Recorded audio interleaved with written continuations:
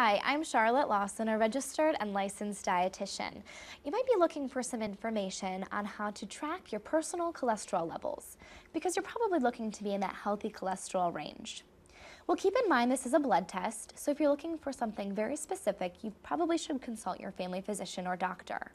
But there are also alternatives. You can probably go to the nearby pharmacy and purchase an at-home test. This could run you anywhere from 20 to 30 some dollars, um, but again, not quite as accurate as going into your physician. Now, if you're looking to track the amount of dietary intake of cholesterol, this could be fairly simple.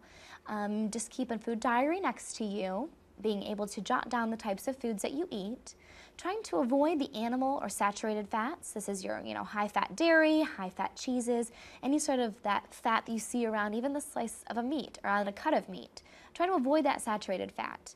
But also keep in mind any food products you're purchasing that have a box or a bag or a package should list cholesterol on there as well.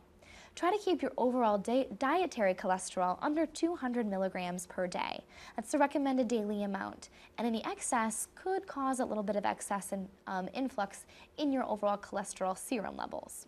So again, if you're looking for the blood test, check with your physician or maybe the local pharmacy, and then also keep in mind dietary intake of under 200 milligrams per day. I'm Charlotte, and eat happy.